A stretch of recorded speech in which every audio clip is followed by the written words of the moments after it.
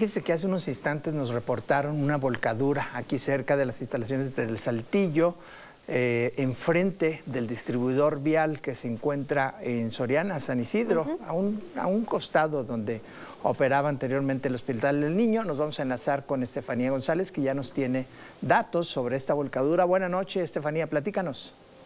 Hola, muy buenas noches. Bueno, pues así es como ustedes comentan, hace algunos minutos se registró una volcadura, esto en el distribuidor vial eh, Venustiano Carranza, pues el conductor de un vehículo Volkswagen Jetta color rojo circulaba sobre Carranza con dirección de sur a norte en la curva que da hacia el Boulevard Nazario Garza, la toma exceso de velocidad y pues termina perdiendo el control por lo que se sube a la barrera metálica y posteriormente el vehículo pues queda ladeado así como lo podemos ver en las imágenes. Afortunadamente no hubo personas lesionadas y pues ya aquí en el sitio están elementos de la policía de tránsito tomando conocimiento, así como el paso de, de que arranca hacia el área Occidental, pues se encuentra completamente cerrado ya que en estos momentos se están realizando las maniobras por parte de la red para proceder a sacar este vehículo, el cual pues, como les comenté no deja personas lesionadas.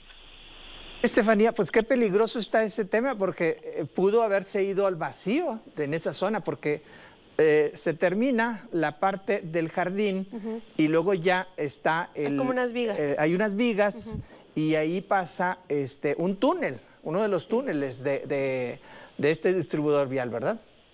Así es, están las vigas, el, el túnel que va hacia abajo es el que va en la dirección contraria, que es de Nazario hacia el Venustiano Carranza y pues afortunadamente este vehículo se alcanzó a tener justo por la barrera metálica y pues no alcanzó a caer pues más, más adelante que esto pues hubiera provocado que el vehículo pues a lo mejor quedara incrustado en estas vigas o posiblemente cayera por completo. ¿Ya sabemos quién conducía el auto? Hasta el momento la autoridad no nos ha mandado eh, estos datos ya que se las maniobras para proceder con el levantamiento de esta y pues poder reabrir la circulación. Perfecto, Estefanía. Muchísimas gracias. Seguimos en contacto contigo. Claro que sí, muy buenas noches. Buenas noches para ti.